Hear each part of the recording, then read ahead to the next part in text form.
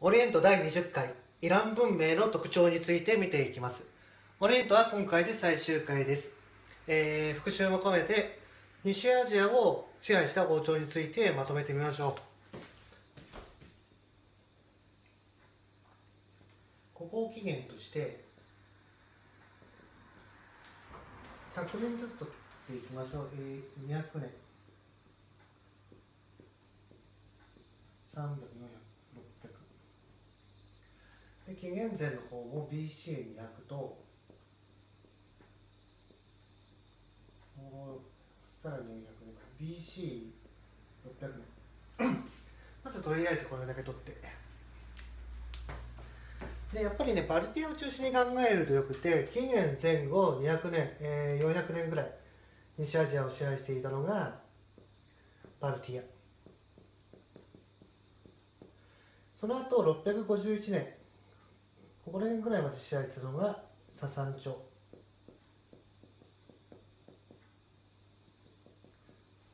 まあここはうまく400年ずつぐらいになっていますね。年号とか入れたい人は自分で調べて入れといてくれてもいいです、まあ、でもまずこう大まかな流れをつかむのが大切大切なのでここではこうしておきます。で BC550 年頃から BC300 も入れた方が550年頃から330年頃まで、えー、西アジアを支配していたのがアケメネス朝アケメネス朝が滅んだのはここのところでアレクサンドロス大王が大遠征を行ったからです。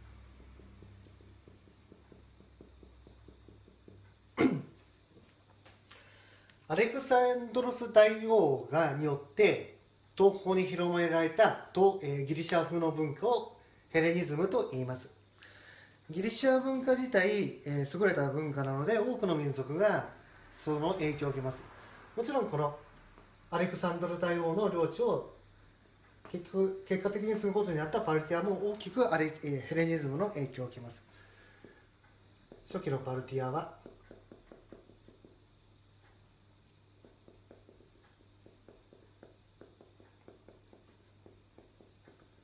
ヘレニズムの影響を強く受ける。あ大きくにしよう。ヘレニズムの影響。を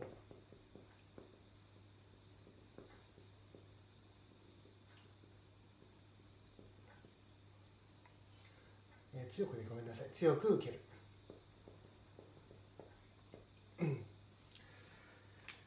あとパルティアっていうのは重要な要素としてローマ帝国と同時代、えーローマと領土も隣接して激しい争いを繰り返します。えその中自分アケメネスこれもイラン人の王国。こっちもイラン人の王国。自分たちはイラン人でアケメネス朝の後継者という自覚を強めて、えーイランの民族的な文化もパルティアの時代から復活していきます。アケメネス朝のアケメネス教アケメネス朝の時に起こったゾロアスタ教もパルティアで信仰されるようになります。でそのゾロアスタ教もササン朝で正式に国教にされましたよね。この前の復習ね、えー、ササン朝は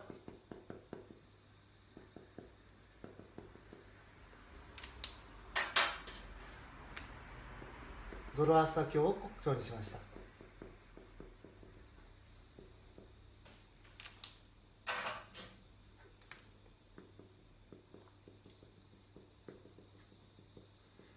アケメネス朝以来のイラン人ペルシア人の民族的宗教であるゾロアスタ教を正式に国教にしました、えーまた経典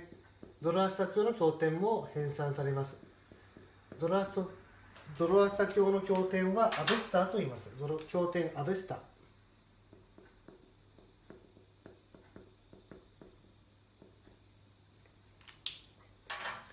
アベスターも編纂。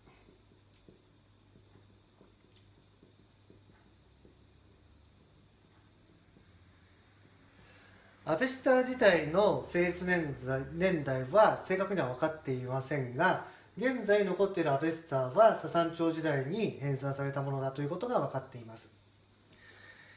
えーあとはこの地域でゾロアスタ教とトランサ教だけでなくキリスト教や仏教も混ぜ合わせた融合宗教が生まれました。融合宗教である。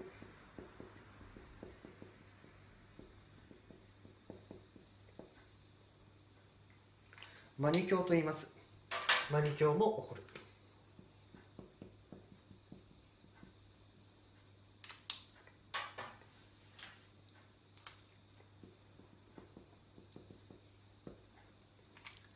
ササン朝ではマニ教は弾圧されます、えー、でもその代わりマニ教は中央アジアひいては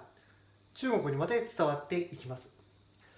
このようにはササン朝は宗教と宗教の中継点としての役割も果たして後でローマのところでしっかり勉強しますけどキリスト教の異端派となったネストリウス派そういう宗派があるんですけどそれがササン朝経由で東の中国にまで伝わっていくそういう話もあります。またその時に勉強しましょ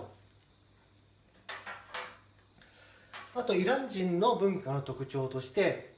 まあ、ヘレニズムは影響が強いんでヘレニズム文化が中心になってるってことはなったということはまあ確かなんですけど自分たち固有の文化とかあとイラン人の特徴ですけど支配した民族や周辺周辺文周辺民族の文化もうまく取り入れて融合させていきます、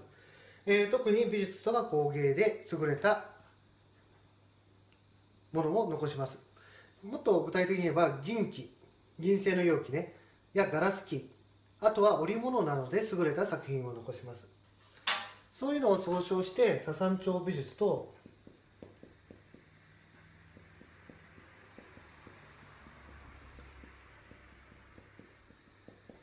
言いますけどササン朝美術のすごいのは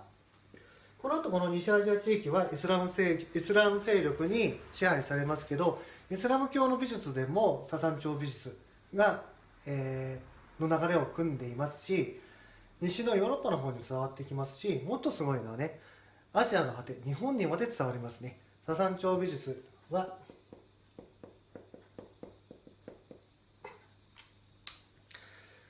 それが入ってる場所は中学校の時に勉強しました、え中学まで伝わったものを遣唐使が日本に持ち帰って正倉院に収められています。正倉院まで伝わる